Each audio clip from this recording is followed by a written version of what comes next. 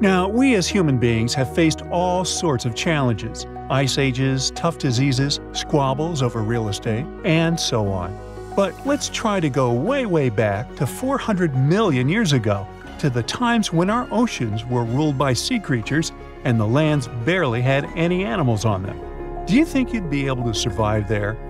We're talking about the Devonian period. It started around 400 million years ago and lasted really long, about 60 million years. It's named after Devon, England, where scientists first studied rocks from this time. The world was quite different then. Our planet featured three continents a gigantic supercontinent, Gondwana, down south, a smaller one called Siberia up north, and another medium sized one called Laurasia to the east. These land masses were moving around and crashing into each other, making big mountains. Now, imagine if your time machine broke down and you ended up in this ancient world. You're now in a world where the land is pretty much a barren wasteland. You are surrounded by basic plants like mosses and ferns. This is the early Devonian period. There were no trees yet, but moss was everywhere. And wow, that's a lot of water! Around 85% of the Earth was covered by oceans during the Devonian, so you see many warm, shallow, oxygen-depleted lakes around you. The first thing you notice is that breathing seems a little harder. Well, don't panic. It's all because of lower oxygen levels, around 19%. It's still enough to ignite fire, and trust me, you'll need one, but prepare to feel a bit dizzy. Luckily, there are no huge predators to run away from, but you'll probably have to do a lot of swimming. Alright, at least the weather seems pretty nice, warm and steady. If you keep traveling, you'll notice that the land seems almost limitless. That's because we're on Gondwana, the biggest supercontinent of them all. Since the tectonic plates don't move around much, there are barely any mountains around, and the Earth actually feels flat. Well, not totally flat. Gondwana boasted a gigantic mountain range, akin to the Himalayas. This range was gradually breaking down, sending sediments into the ocean. Those sediments would provide nutrients that help marine life thrive. In any case, it really feels like a whole different planet. The landscape around you looks like something out of Mars, if it had water. The only question is, where is all the life? Underwater, of course. There's a reason why Devonian is called the Age of Fishes. Now, to be fair, it wasn't all fish. The conditions were perfect for certain early marine life to develop important things, like lungs. Some even gained the ability to crawl out of the water and onto land for short periods. So, if you spot a tiny lizard like creature around the coast, don't step on it. It's your great great great great great grandparent. Well, it's not like you'd be able to really step on it. Remember the guy from the evolution meme with a funny crocodile like head? His name is Tiktaalik. As you can guess, it was one of the first creatures linking fish to land. And although it might look friendly, it actually has a 9 foot long body and very sharp teeth. And yes, it can crawl. So if you notice a huge lizard, better find a hiding spot. You'll start seeing more of those Tiktaaliks and four legged animals in general by the Middle Devonian.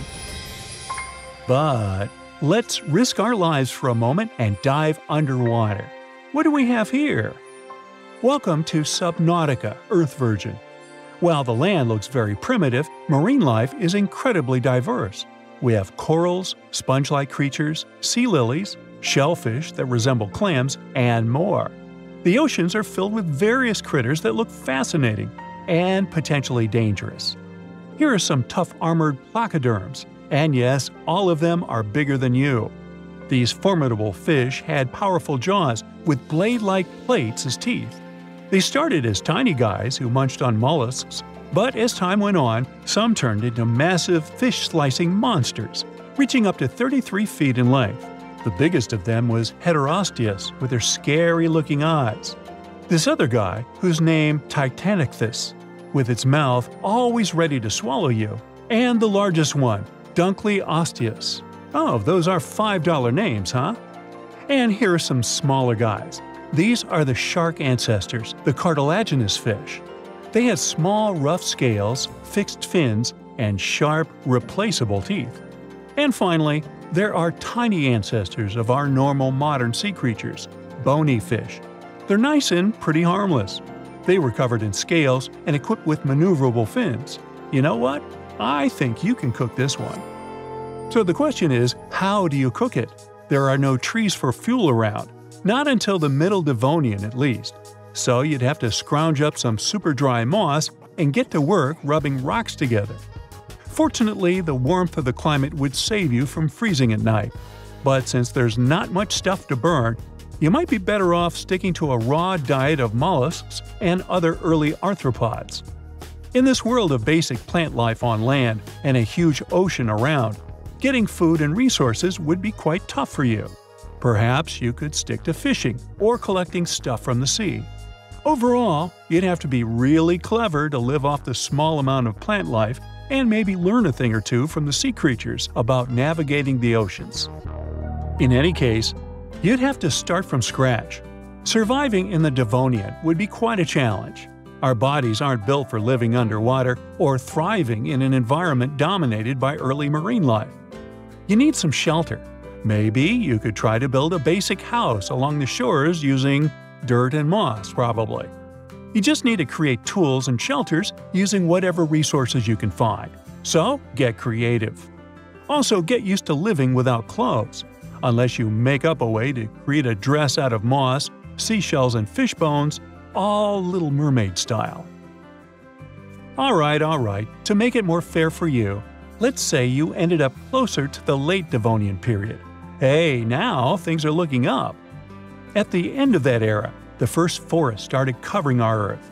Now we had plants with spores, leaves, and roots, and even the first plants with seeds. The land is slowly getting some life. Hooray to normal breathing again! We've got some little bugs, four and six legged critters. The first land vertebrates, early tetrapods, started showing up.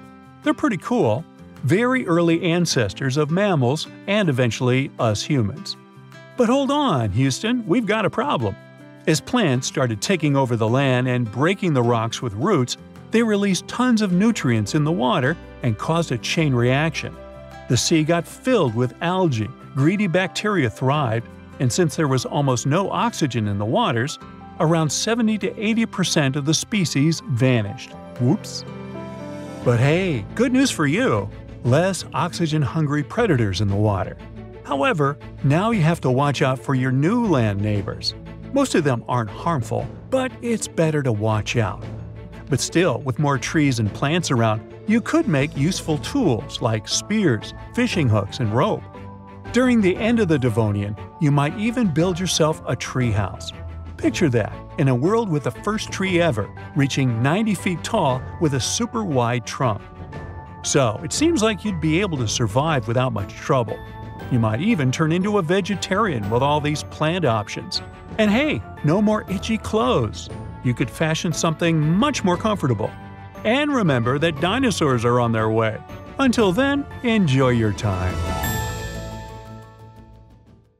That's it for today. So hey, if you pacified your curiosity, then give the video a like and share it with your friends. Or if you want more, just click on these videos and stay on the bright side.